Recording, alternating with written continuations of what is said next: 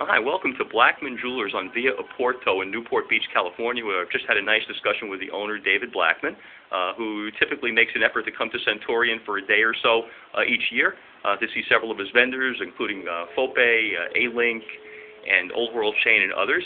And this gives you a sense of the beautiful store. They sell uh, they sell lots of watches and lots of jewelry. About 90% of the business do custom work, about half. And uh, the store's been here for a long, long time. It's very successful, and they're actually having a pretty good year.